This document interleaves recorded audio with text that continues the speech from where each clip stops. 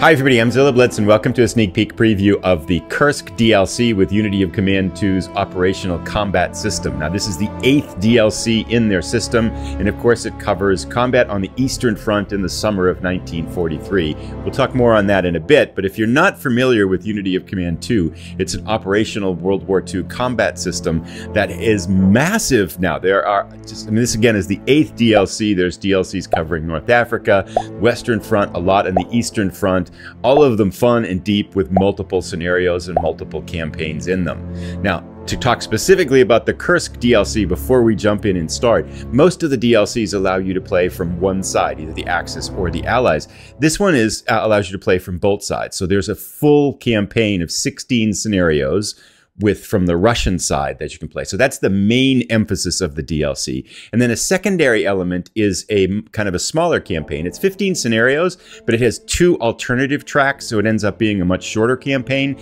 that you can play from the Axis side. So tons of gameplay, 31 scenarios in all in this DLC.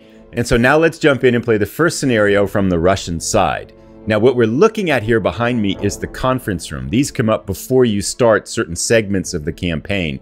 And we can see on the top left above my head, we have our fronts. These are basically our headquarters. We get the West, Bryansk, Central, Vorozna, Steppe, and then the South Front. The first scenario we're going to play is on the South Front. I think it has the Vorozna and the Steppe Front headquarters. We have a prestige number up at the top. So this is basically our, our kind of our planning, what we want to emphasize as we're going into this first scenario, first couple of scenarios. So we want to spend spend these prestige points because there isn't an opportunity really to spend them once we start into the scenarios in this segment of the campaign. And we can spend them really on two things right now. One is we can upgrade our headquarters, which we'll do a little bit of. We can also buy cards, and we get this uh, Stavka Elite Replacements one free, so we'll of course add that one. And luckily, we also have a bomber asset here, which is good too, because that will give us a little bit of air power to blast people. Now, I'm not particularly adept at this artillery preparation card, but I want to try it just to kind of put it in there. And that gives us 80 prestige left. I want to go in and we can upgrade certain aspects of our headquarters. In this first scenario, we're limited to range upgrades only, which basically means how much space, how many hexes does our headquarters allow us to command. So we can increase the strength of it by spending 25 prestige to increase the range of the headquarters from 8 to 10. And I want to do that for the Vorozna and then the Steppe one. And then let's go up to the west frontier and add one there, even though that's not in this scenario. And now we've spent all of our prestige except for five lonely points. That should be enough. Let's jump in past the conference now. And we're going to be, uh, this will show us our scenario here, which is Prokhorovka. We're going to start there. And let's give this go. It's a nine turn scenario. And in this scenario, uh, we're going to be kind of absorbing the initial German assault on Kursk. Because one of the things about this DLC is that both sides are attacking, both sides are defending. It's a massive campaign. There was a huge buildup on both sides during the historical campaign, and this DLC kind of captures that. In this scenario here, I'll skip this little dispatch. We'll close these little navigational pieces here. But we can see we've got, uh, we're the green as the Soviets, and then the Germans are the gray, and they're on the south part of the screen, or just on the bottom part of the screen as we're looking at it. We can see a bunch of red city names here. These are the objectives that we currently hold. And if we look on the right side, we can see the objective list there. There are six objectives. Oboyan, which is kind of right here, this larger one up, oops, let's go over here, this one right here, then we have Kursk up at the top, which we have to hold. These are our major objectives. By nine turns, we cannot lose these two cities. But there are uh, secondary objectives in here. These four cities, if you would, or four locations in red. Donetsk Crossing, Yakolevo, Kochetovka, and Prokhorovka. These four places we have to hold at turn seven. Now, we're probably going to lose these because the Germans are pretty strong. And just before we start, two caveats. Usually when I play these, I'll play on normal and I can win on normal. And then I go up to classic and that's where I kind of struggle. And I usually record these things on classic. However, I've played both the beginning German scenario in the Citadel campaign, which is that minor campaign that this DLC encompasses. encompasses. And I played this one. Both times I got absolutely mauled. So usually the DLCs have kind of like a feel-good introductory scenario that kind of eases you into the campaign. I don't think that's the case here. And I think perhaps I'm just not very good yet at defending in this game. And so we may see a massacre. So I wouldn't take this as a how to play so much as an exposition of gameplay. This is the type of things that are in the game. These are types of things that you're going to be asked to do. So with that, hopefully we can have some fun even if we get mauled in defeat. But I'm not optimistic as the leader of the Russian forces here that we're going to come out of this scenario with a victory. Let's get started. So what we're looking at right now is uh, the German forces down here. We can see this brown dotted line, which is the front lines there. And we hold all of the objectives that are necessarily, both the minor and the bonus objectives, if you would, and then the main objectives. Now, the last time, the first time I played, I left our Russian forces here. And then these Panzer tank, these German tanks that we're looking at right in the center here, just basically mauled us. They kind of one-shot things. They're super powerful. Their infantry is very experienced, veteran, and elite, and they just crushed us. So by turn two, I was way back, losing all of our objectives and kind of fighting in this plane between Kursk and Oboyan. It was so quick. So I'm going to try to be a little bit more defensive here. I'm going to try to pull our Russian forces behind the river and try to set up a little bit of a better defensive position. I think it was a little bit naive to expect us to be able to fight where we are on the plain. And militarily, we want to be behind rivers if we're going to defend. And our general strategy is going to be defend, absorb the initial German offensive where we can, try to chip off some units if we can, and then counterattack from the sides, sweep in behind, cut them all off, and wipe them all out. That's our plan. So what I'm going to do first, enough of the talking, I am going to pull back some of these units. And basically in the game, moving movement is really easy. You just kind of click and you pull back. We're going to send them up over the bridge here and just kind of reposition them. And so I'm going to try to get all of our units safely behind, not safely, but behind the river, hopefully, so we can better absorb this onslaught of German armor that's coming at us here. Once I get that done, I'll come back. So I've moved our units behind the river here. We're going to do a couple more things before we end our turn. I'm going to take this infantry here that's on Oboyan, and we are going to use this little dynamite, destroy the bridge thing. We're going to blow the bridge here, take it out of action. I'm going to leave this other one in place because I think, I suspect here that the the Germans are going to come down for these objectives and not necessarily try to come around this outside, but we'll see what they do. I'd like to leave that in place because that might be our avenue for trying to cut in behind and pick off some units here too.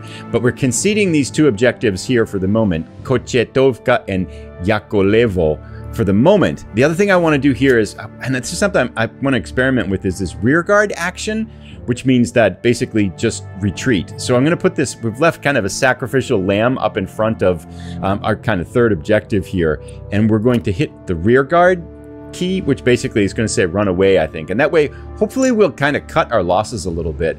Now, a couple of things. I think that's pretty much all we're going to be able to do here.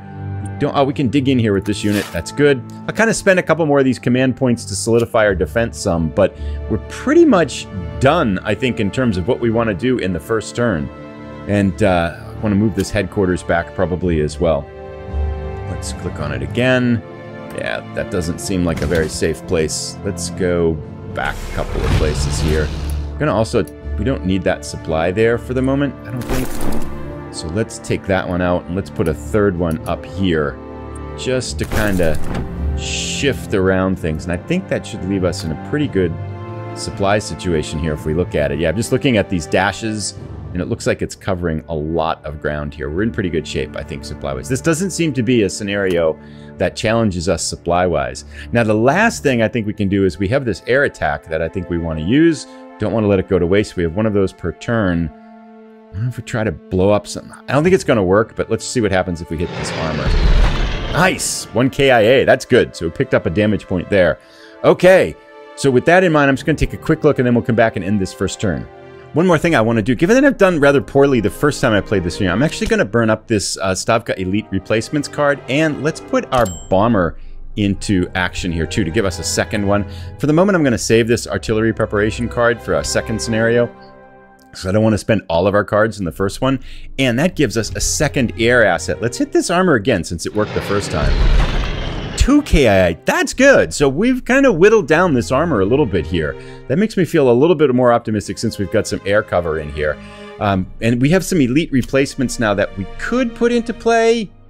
I'm trying to think about where we want to put them though. Got three. It costs us 10 each, and we have 300 prestige to spend on them.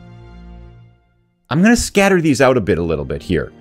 Alrighty, so I've spent about uh, 60 of our prestige upgrading a few units with some elite yeah, uh, kind of contingents there. And with that in mind, I think we're in good shape here. Let's end our turn. Let's watch the Germans come maul us here. They, I, I don't know if they've improved the AI in the game or what, but it seems like they really have strengthened things here. So that unit should run away. Yes, good, did. Okay. That unit, oh, got crushed, but it survived. That unit got crushed and ran away.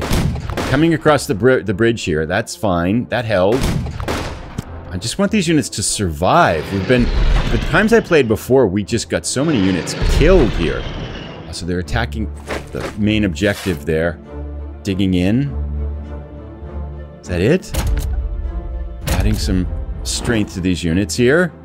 Okay.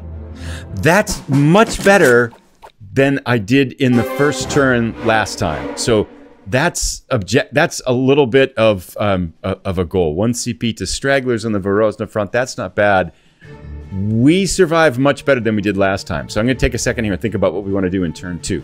So the very first thing that we want to do is I want to check the reinforcements up here. We have a deploy now that we can see for our we get a we're going to get a good bit of reinforcements here for the next three turns. We're going to get roughly about six seven units per turn. These units come over here. So we're going to bring in the replacement, the reinforcements first. So I'm going to shuffle some units around because some other units are blocking. But I want to get all our reinforcements in, and then it's time to think. So let me do that first. All right, I've got most of our reinforcements in. The only one I didn't pull in was this one right here to the north of this German Panzer tank uh, icon here, because I want to kind of have this unit actually dig in and it's pretty good against armor. So I'm going to have that rather than bringing a reinforcement there. So we've got all of our reinforcements in here now, and we can see that uh, the situation looks a little bit less dire here. I want to try now to rearrange these to get the armor on the other side of this bridge so that we can launch them across the bridge into the left flank of the Germans. So I'm going to do a little bit of reorganization here, and then we'll see what it looks like. So working on that same defensive strategy, I've reorganized our troops a little bit. Brought the armor here on the left side, just on the poised on the other side of the river uh, kind of shuffled around some of our troops in the front lines here to try to see if we can hold here, where we know the Germans are going to attack, and then here. To that effect, I think what we want to try to do is let's see if we can whittle down some of this armor again here, particularly this point one. So let's bring some aircraft on this and see if we can hit it. We weakened it a little bit, but still, that's not much of an attack there, is it? Let's try that again, see if we can have better success. I'd love to get a KIA. Nice, couple of KIs. So just kind of chipping away at this armor when it's in the open here. I wonder if our attack would be any better. Now, two to one, that's not too bad. But I, I think we're going to let these units defend here for a little bit. So with that in mind, we have uh, five command points left. I'm going to have this unit on the other side of the river spend one of them to dig in and then up here, for this unit here, let's have them do a rear guard action. We will concede that point to an attack.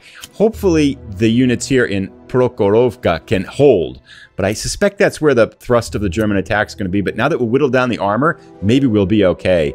Then on this side, over here by Donetsk Crossing, we we have a lot of force. I might actually start shifting some of these troops to what I think is going to be our weak spot up in here. That might be actually a good idea. Let's bring this unit that's out of supply. Nope, not there. Let's bring them up here just a little bit. Let's bring this infantry unit over here with the idea that I think we're holding fairly well down here.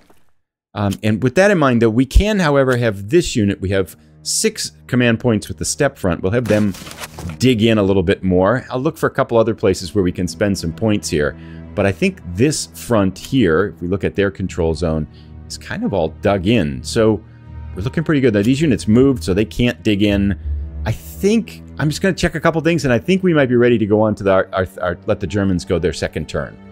Last thing I did was, I think we have too many infantry units on the right side, so I reorganized one. Basically, you kind of click on it and then use this reorganization thing here, which, which basically removes it, but it allows you to redistribute those infantrymen to other units later in the scenario. So I kind of broke apart one of the infantry units down here to allow us to resupply some of the other ones and strengthen them, because we have too many units, I think. I don't know if it's a good strategy or not, but we're going to try it.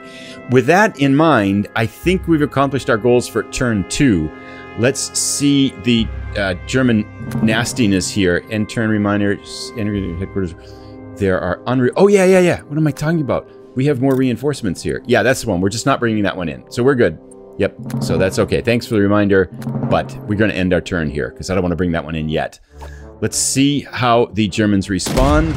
Attacking across the river here with the heavy armor. Oof. Retreat. Retreat. Good. Okay. Oh, that got killed blew it away. And they're across the river here. Attacking in force. Hold. That one withdrew. Okay. We lost our objective. Okay, that got hit. Lost one unit so far. Attacking across the river, and they ran away. Attacking across the river, and they ran away. Oh, pushed far in. Oh, they wiped that unit out. Ah, we're getting mauled again. It all looked so good until started to, oh man, they're just crushing our armor. They're not even going after Donetsk Crossing. I'm not sure what's going on here. That's interesting.